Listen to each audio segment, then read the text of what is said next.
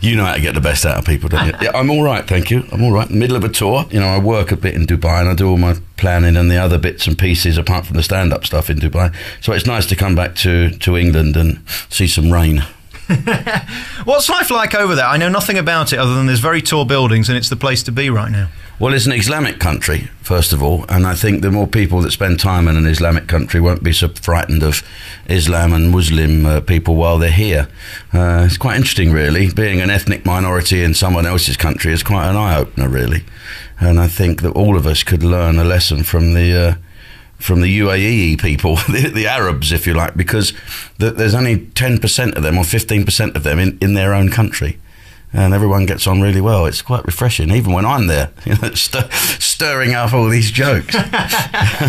tell you what's interesting for me. I first interviewed you about ten years ago when what you said on stage was outrageous and controversial, mm. and it was racist and offensive. Mm. Now it's a legitimate debate, and politicians are talking about it. It's interesting how time moves on, isn't it? I never really thought it as racist and offensive ten years ago. I know you described it at that, and and if that's the way it come over, then I apologise for anyone I upset. But I've always tried to stick to, and all comedians worth their any worth their salt would would not try and alienate their audience and the public. Everyone wants to be liked. So why would you alienate, you know, you know two thirds of, of, of Britain that don't think along like a racist bigot? I just think that bigotry in any forms is funny. I think the real left left wing bigots are as funny as the right wing bigots and there's a place where they meet in the middle called Common Sense, and I talk about a lot of that now on the on the DVD. Um, I actually take on politically correctness and, and say, well, look, let's let's take a look at this really ridiculous phenomena. Who does it? Who, who, who benefits for it? Who loses? Normally, me loses because I say the wrong thing and get called the antichrist and the racist and the sexist and the everything ist in the world. So I'm going to have a look at politically correctness because we've had enough of it now. I think we're all, all Brits. We're not black Brits or white Brits. You see, I don't think you are a racist, and I've never thought that, and I've never said mm. you are, and I've always supported you and promoted your DVDs and stuff yep. because I think there's always been a legitimate debate, but we've never before now been able to have it. Yeah, no one took it on. I spoke to Jonathan Ross. Oh, God, I won't speak to him again, actually. But um, well, you don't speak to him, do you? You listen to him.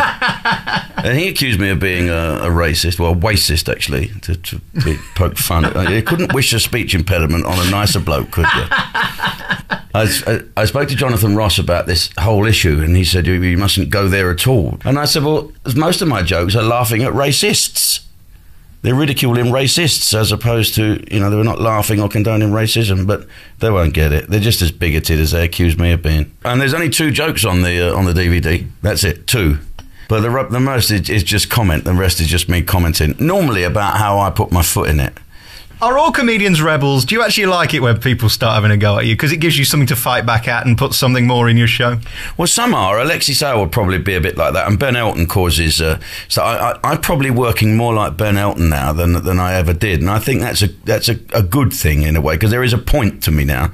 There wasn't before. I just go on and do jokes about anybody. But there is a point to what I'm saying now, whether you like it or not.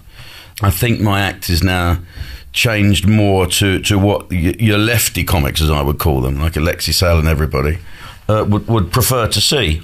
Although, I don't know about that. The, who's that fat woman? Ugly. What's her name? Jo Brand. That's it. Yeah. Jo. she hates me. I tell you who else hates me. Alexei Sayle. And I, I, I, met him after he did all this stuff about how awful I was, and I went up to him. He was sitting in the ivy, of course, like a good socialist. And I went up and said, "Hello." And he went, "Oh yeah, okay, that's good of you to come over. Hello." And that was it. My audience were, were of all different ages and they've grown up with me, where Alexei's audience were intelligent. You don't need to be that bright, really, to listen to me. You just need to relax and have a good old laugh and let me take you on a trip. Uh, but Alexei's audience, they, they grow older and their values change. I mean, Alexei always stuck to the one value. Uh, and he had much more of a point to what he was saying than I have, really. Mine's a bit tongue in cheek although I have to say it's not as much as it used to be. You stop touring when you stop getting audiences. That's as simple as that. It's not because you don't want to, because touring's great fun. Some people are fashionable and some aren't, aren't they? McFly, they're not going to be around as long as the Beatles, are they?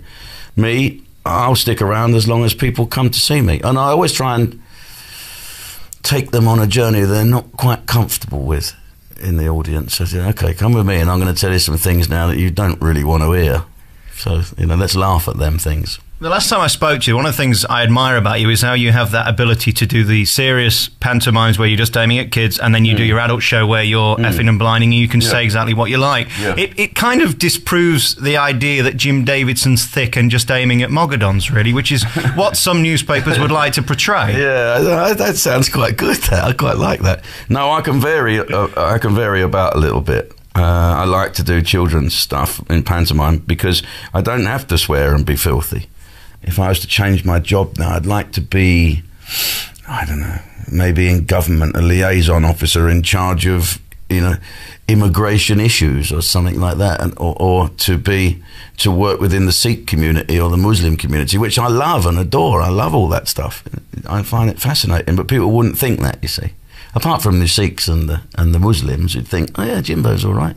Do you think immigration is the biggest thing at the moment in the UK that people are worried about? Because it seems to me it gets more headlines, it gets more news time than anything else that we're talking about at the moment. It's all based around fear, isn't it? Ladies that wear the veil.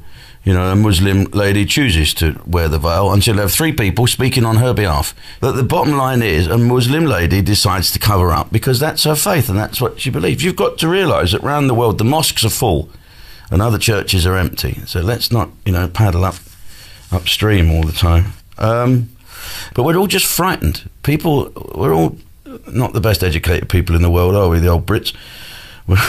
there are a few, I'm sure. That You speak for yourself. no, well, I'm not. I'm not that clever because we don't know how it works. We don't know how it works. We we think we know a bit about politics, but we know absolutely nothing. And we have a comment to make about. it. And the newspapers don't care. They just want to fill their papers. It's interesting. I mean, things that annoy me are things like when I go to my local fair, we can't have candy floss on a stick anymore. We can't Why? have because the stick might stick in your eye, and therefore it's banned under European law now. It has to be in a bag.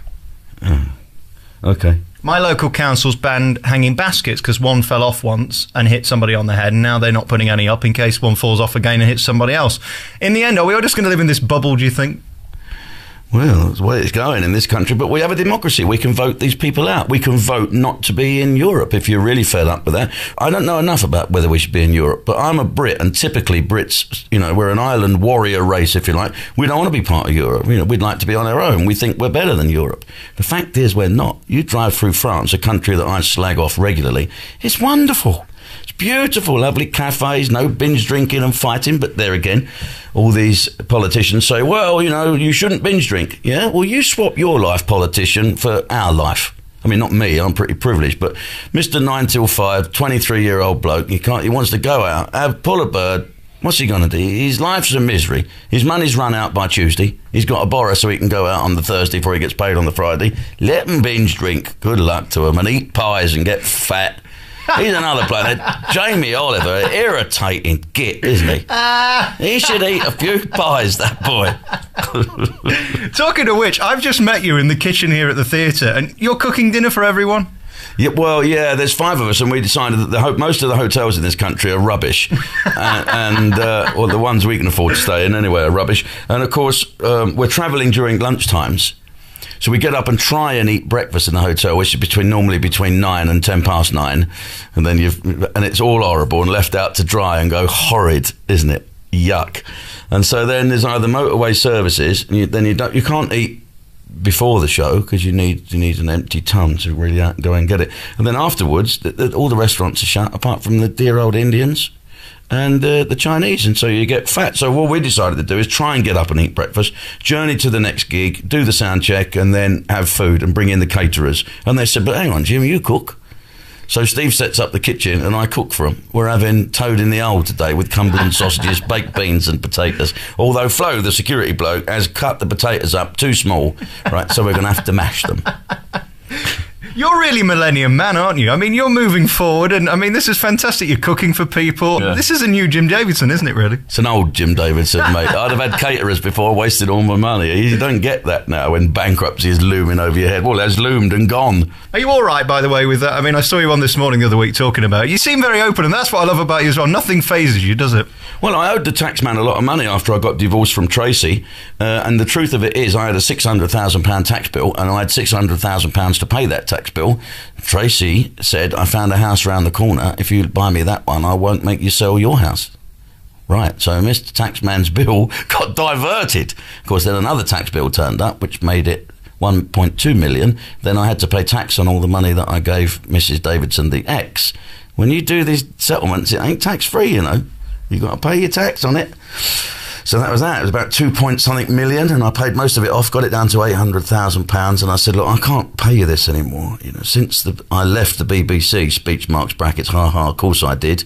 Um, I don't get the money that I used to." And they said, "Well, we think you're fiddling. We think you own all this stuff in Dubai and this and that, and whatever. Um, we want that, all that money now, which is eight hundred grand, or we're going to make you bankrupt." So they did. I had no choice really. So now I'm not allowed to sell my house either. Having all that, and I've paid fifteen million pound tax since I started. I mean, that's not fair, is it? It, it, no, the rules are the rules, so it's pretty fair. You see, credit card people encourage you. You've only got to watch them in the adverts in between. Are you skint? Are you fed up? Would you want all your manageable bills in one? Oh, that just gets you more in it. Suddenly, we're a gadget society, and there's always, I want it, I want it now. Everyone's got a DVD player, everyone's got satellite. Most people have got two cars in their household, and you go in debt to get them, and suddenly you can't pay it back. I haven't had a credit card for, well, since before the bankruptcy thing. And I think it's great. When you go in a hotel and they say, Can I take a swipe of your credit card? No. Why? I haven't got one. Come on, sir, you have. No, I haven't. Well, you won't be able to order any drinks. Well, okay. What do you have to do then? Leave a kidney at reception or something? Something like that, yeah. yeah, because the promoter pays for my, my, my hotel thing and the bill has to get sent off, but I have to give them a swipe of my credit card or I can't put anything to my bill. That's one of the things I miss when I'm away. I miss Rick Stein's program. And, and uh, Rick Stein makes me miss England. The way he looks at England is the way I look at it, really. We don't we can't all look at it like that. That's my choice to be Rick Stein's mate and just hang around with him. I think that'd be fa- fabulous. But of course, England isn't like that. England is a dangerous place, I think, now. Dangerous. You'll never come back. Never say never again. I might have to come back.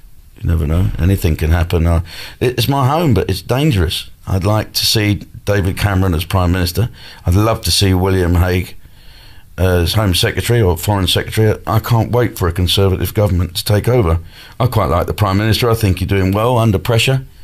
I don't believe our troops should be in Iraq. Uh, I think they're going to struggle in Afghanistan unless they get the tools to do the job. And I don't like being the puppet of the of American policy. Regardless of whether you feel they should be there or not be there, you'll always go and support them. I'll Doesn't always matter. go and support them. I never have a political issue. Never. And the troops don't like it if you go on and start to slag the Prime Minister off. Prime Minister's their chief, you know. Listen, good luck with everything. Good luck with the DVD, which is in your stores now, and uh, you got Panto, and you're touring again next year as well. Yeah. And you're enjoying it. I mean, you seem happier than ever. Everybody around you tells me that you're funnier than ever. You're happier than ever. You seem to be comfortable in your own skin. Yeah, I'm pretty pretty comfortable. I had a big worry with all that financial stuff. I've decided not to worry now. Life is, is far too short. And, and the act I'm doing really has a point to it now. I'm talking about politically correctness, which we've all had enough of. So there you go. Yeah, I think it's the best DVD I've ever done. Jim Davis, it's always nice to talk to you, and good luck with the show tonight. And thanks very much for talking to us. Right, I better go and get me beans on.